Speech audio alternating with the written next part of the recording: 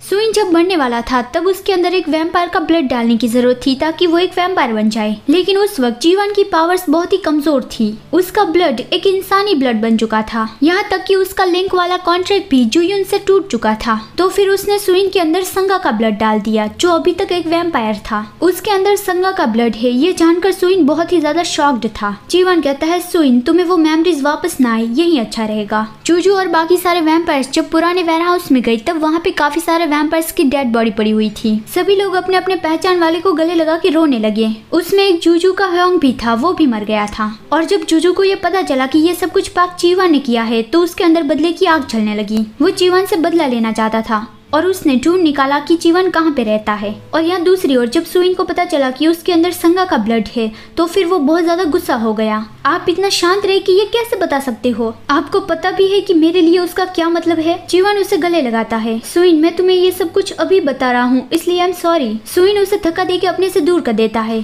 तो जीवन शॉक्ड था कि सुइन ने पहली बार ऐसा किया। सुइन कहता है, आप मुझे इस बात को अभी बता रहे हो, इसलिए मैं गुस्सा नहीं हूँ। मैं बस ये सह नहीं कर पा रहा हूँ की आपने मेरे अंदर उसका ब्लड डाला जीवन उसके दोनों आर्म्स पकड़ के कहता है, मैंने तुम्हारे अंदर संगा का ब्लड डाला, इसलिए तुम मुझसे गुस्सा हो। तो फिर सुइन मैं इस बात को लेके तुमसे माफ़ी नहीं मांगने वाला। एटलीस्ट इस बारे में तो बिल्कुल भी नहीं। सुइन ने कुछ स्मेल किया और उसे उल्टी जैसा होने लगा। जीवन परेशान हो गया कि क्या तुम ठीक तो हो सुइन वो उसे संभालता है कि सुइन मेरी ओर देखो। सुइन कहता है, मैं ठीक हूँ। जीवन उसे गले लगा के उसे शांत करने की कोशिश करता है कि सुइन सब ठीक हो जाएगा। वो सब कुछ पास्ट में था। It's okay okay. तभी सुइन कहता है, मैं जाना चाहता हूँ। जीवन कहता है हाँ ठीक है। आई एम श्योर तुम्हारे लिए ये बहुत ज़्यादा शॉकिंग रहा होगा। चलो घर चलते हैं। हम घर जाने के बाद फिर उसकी बात करते हुए सुइन कहता है, नहीं, वो जीवन को अपने से दूर करता है।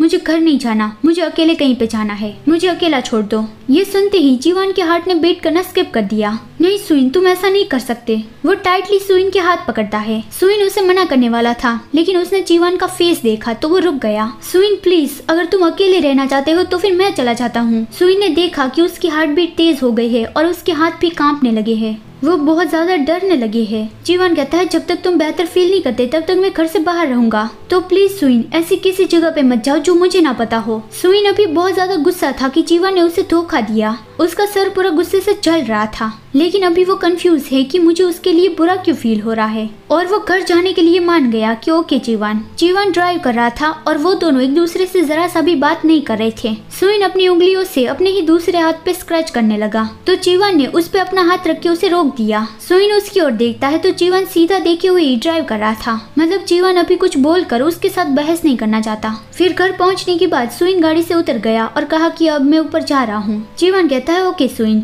और वो उसके हाथ को चेक करता है। अभी सुइन ने जो अपने हाथ पे स्क्रैच किया था, वो हील हो चुका था तो जीवन खुश था कि वो हील हो चुका है। और वो कहता है, तुम अब भी मुझे अपने साथ अंदर नहीं आने देना चाहते ना? सुइन कहता है, जैसा आपने कहा कि मैं घर आऊँ तो फिर मैं आ गया। तो फिर जीवन उसका हाथ छोड़ देता है कि हाँ ठीक है, अपना ध्यान रखना। जब तुम्हें बेहतर फील हो, तब मुझे बता देना, ठीक है? फिर सुइन चला गया और जब तक वो नहीं गया, तब तक जीवन उसे देखता रहा। फिर वो साय करता है कि सुइन मैंने तुम्हारी लाइफ बचाने के लिए जो कुछ भी किया है, उसका मुझे रिग्रेट नहीं हो रहा है। आई एम सॉरी सुइन जो जो छुपके से जीवन के अपार्टमेंट में घुस आया था, उसने अंदर देखा तो वहाँ पे कोई भी नहीं था। ब्राउन ने उसे बताया था कि तुम्हारे पास ज़िंदगी है तो तुम्हें उसे जीनी चाहिए। बदला लेने के चक्कर में कहीं मर मत जाना। अब वो तुम्हें परेशान नहीं कर रहा है तो फिर उसे परेशान करके खुद मौत के मुँह में क्यों जा रहे हो? लेकिन जूजू फिर भी यहाँ बदला लेने आ गया। उसे पता था कि वो जीवन को अकेला ही नहीं मार सकता। लेकिन अगर वो कुछ भी नहीं करेगा तो फिर उसके होम का बदला कौन लेगा? उसे अपने होम का बदला लेना था, इसलिए वो यहाँ पे आया था। वो किचन में गया और उसने एक बड़ा नाइफ उठाया। तभी उसने दरवाज़ा खुलने की आवाज़ सुनी।